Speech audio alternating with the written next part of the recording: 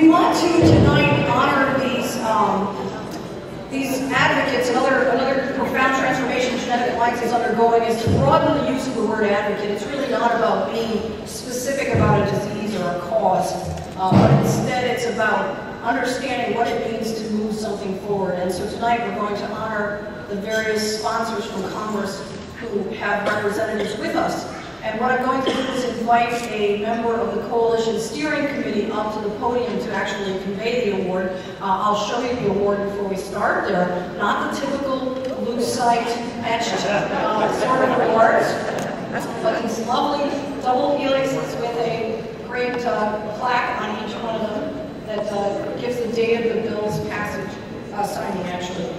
Uh, so one of the comments I wanted to make about these people who are going to come up, and they're going to do very short speeches, and the, the, the members of Congress, the staff that are going to come up are going to also do very short speeches because Genetic Alliance likes to party and not to talk very much, um, is that each of the people involved in the coalition, particularly in the steering committee, actually moved positions during the 13-year journey of GINA, which is quite amazing. Uh, some went from uh, student sorts of positions and, and staffer positions to uh, positions with organizations. And so you're going to see some of the history of GINA, even in the people who will come to give the awards.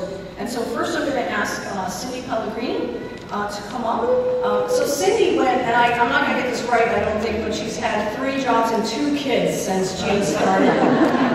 um, and Cindy was the staff person for Mrs. Slaughter when they started.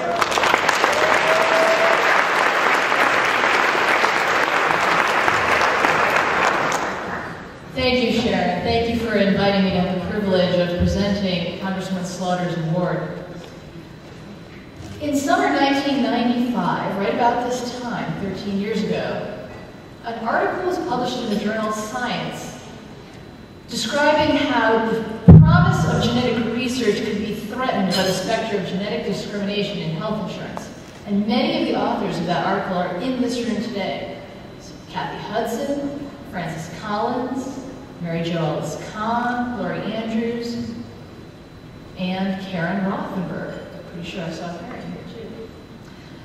Congresswoman Louise Slaughter read that article and said, they're absolutely right. There ought to be a law. She drafted that bill and she introduced it in December 1995, just a few months after the publication of that article. At that point, the Human Genome Project was underway, but most people considered genetic science to be something that was decades from realization. When Congressman Slaughter talked to people about this bill, they thought it was very interesting, but not particularly urgent. How wrong they were. The Human Genome Project raced ahead, and before long, we were reading about genetic discoveries in the newspaper daily. Unfortunately, Congress did not seem to feel that growing urgency that we needed to prevent genetic discrimination before it started.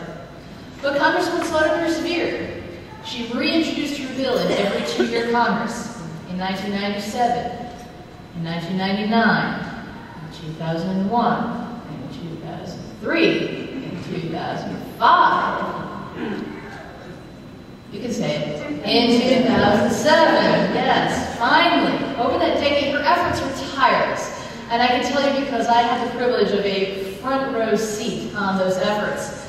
She gave speeches before the House of Representatives. She spoke at conferences. She sponsored educational briefings on Capitol Hill. She circulated dozens and dozens of documents and dear colleagues, they're called, to her colleagues in the, in the Congress. She testified at hearings on genetic science.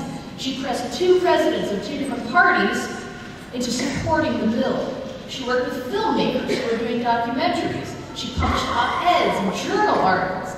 And she worked to get this issue in front of every possible form of media.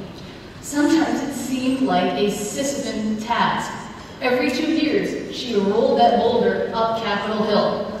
And every two years, she had to start all over again. I can remember so many conversations and meetings where she hammered home the message saying, we all had bad genes, even health insurance company executives. and I can remember the people who came to her office to tell their stories and to say how they were afraid to let anyone know about their genetic tests, how they were afraid to take genetic tests in their own name. and how that fear colored so many decisions in their lives. And Louise carried on for all of those people, and of course for every single one of us, because this issue touches all of us. And now at long last, all the hard work has paid off. The Genetic Information Non-Discrimination Act is the law of the land.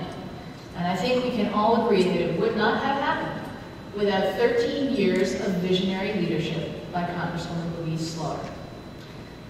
I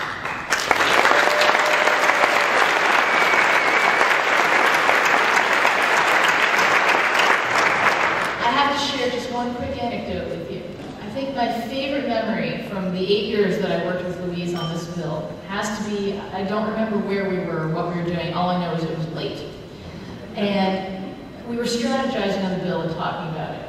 And all of a sudden she stopped talking she said to me, Cindy, do you realize that if we can pass this bill, we will help millions of people who never even knew we existed? That was her motivation. That was what drove her. And I think Congresswoman Slaughter is really a shining example of what we all hope our legislators will be. Voice for all Americans, a visionary, and most of all, a persistent and passionate advocate for the highest ideals of both science and democracy. Now, I will take one uh, extra moment here to say that, as the mentioned, unfortunately, Louise could not be with us tonight. But we do have the pleasure of being joined by Michelle Adams from her staff. And as a former congressional staffer, it's always an extra pleasure. You know, the members of Congress provide the leadership, and nothing can happen without them. But the real work gets done by the staff. And so Michelle Adams has joined us to accept support on behalf of the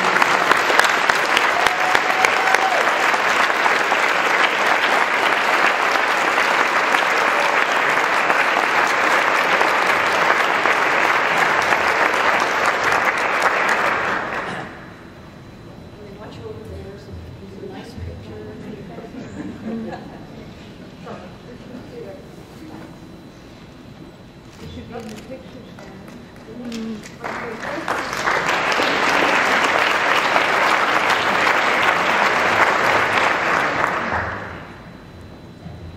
Thank you. I'm going to be really brief. Um, unfortunately, my boss um, had to go home to her district yesterday, so she's very sad that she can't be here tonight. But on behalf of my boss, um, I know she wanted to express her utmost thanks to all of you, not only for being here tonight, but for your perseverance over the last 13 years. Without all of you here, um, and many, many others, um, this bill would not have been.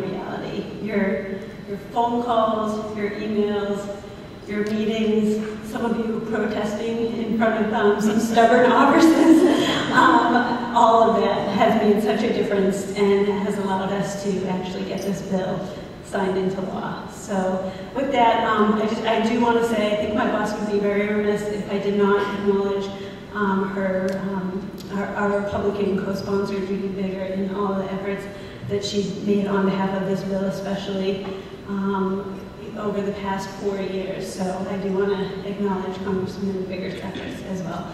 So thank all of you tonight um, for coming, and thank you all for all your work. And I look forward to working with all of you on the next future issue of genetics.